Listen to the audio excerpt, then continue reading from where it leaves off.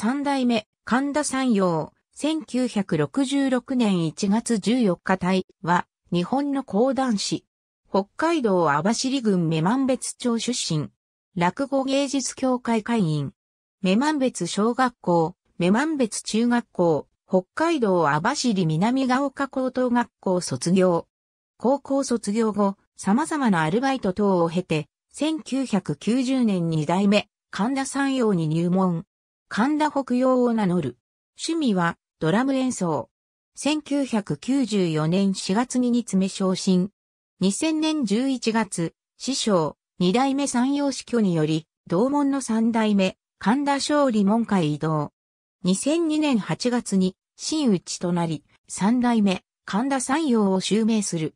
東十郎の劇団、東組で活躍する、稲荷拓王は実定。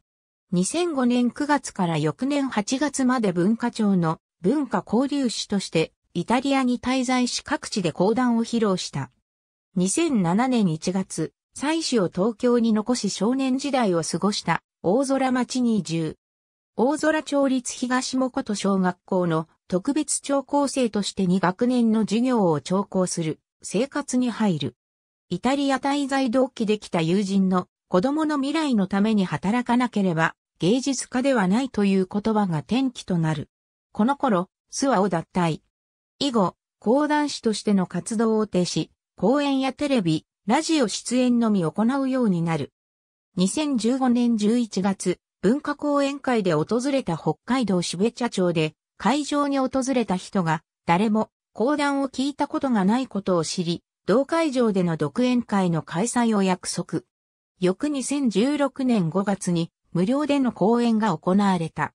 2017年12月、上方の講談師、極道南湖の会にゲスト出演。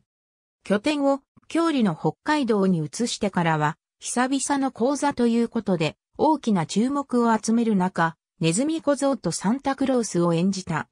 2021年現在も演芸界への本格的な復帰はしていないが、網走市にあるコミュニティ FM 局からの番組出演依頼をきっかけに、子供たちと番組を作ることを提案。同年4月にラジオ少年団を結成した。番組は月に1本30分間の放送で、採用と子供たちとのトーク番組となる。ありがとうございます。